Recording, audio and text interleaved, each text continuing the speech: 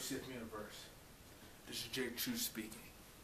Now, J-Truth just watched a promo that Chris Idol just made a couple days ago, right before my birthday. Thank you to everyone that wished me happy birthday on Facebook and on Twitter. I appreciate it. It was a wonderful one. But back down to business. Chris Idol just got himself into a big bowl of trouble. Now, Chris Idol, I just made a promo about you a couple weeks ago, just stating how good and how nice you was as a person. I wasn't expecting this in return, but I got it, so now I gotta deal with it.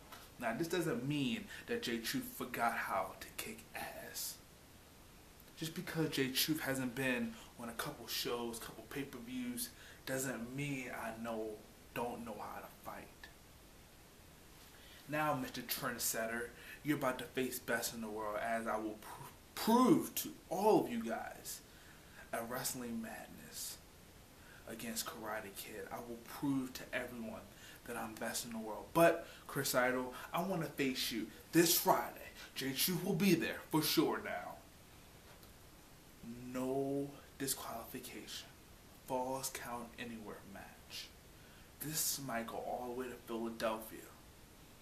If you wanted to go there, I will make it happen. Chris Idol, get ready.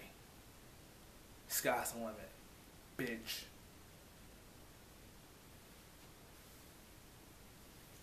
Chris Idol fans, do I have your attention now?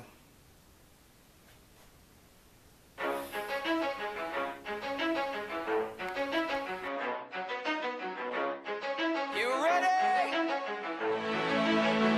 Let's go!